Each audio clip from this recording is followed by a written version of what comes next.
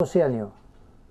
Era mía, eh, yo en esa oportunidad, en esa época, eh, trabajaba con Tito Corradi, o sea, Tito Diorio, corría Totono, también corría, corría Julio Liste, que después fue, fue después cuando pasó los años, para tocar la guitarra y eh, la mecánica, eh, Te endurece los dedos. justamente, entonces, bueno, comencé con el automovilismo. Ellos tenían un- siempre un conjunto, un conjunto de baile, un conjunto de canto, tenían que ya los representaba. Sí.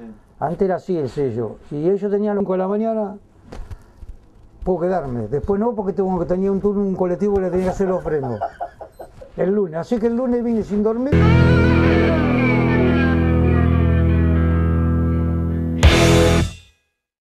Realmente me atendió muy bien, después me atendió muchas veces, hablamos mucho y él este, inclusive me dio lo- la pieza que usaban y cómo la hacía todo.